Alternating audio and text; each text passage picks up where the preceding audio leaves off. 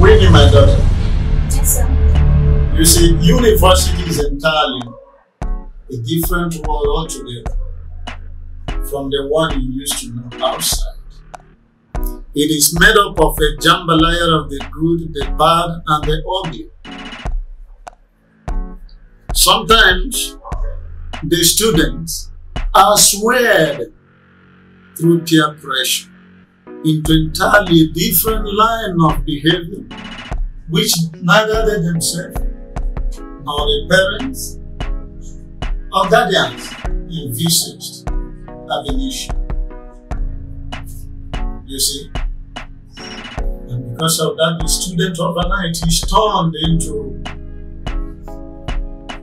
either to good or bad somebody, or vice versa.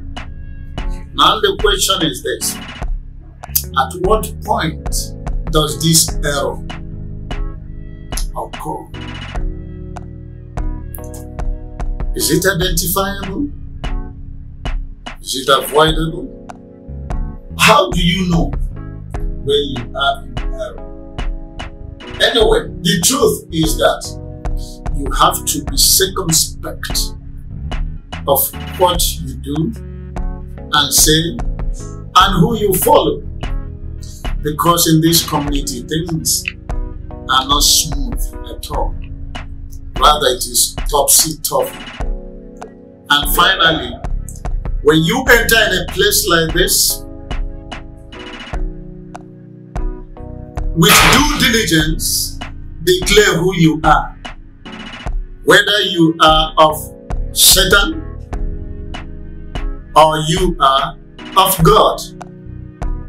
Do it before the devil and his cohorts convene a harangue on your head. Have I made myself clear? Yes, sir.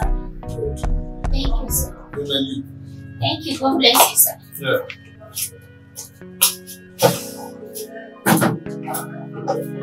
Yeah.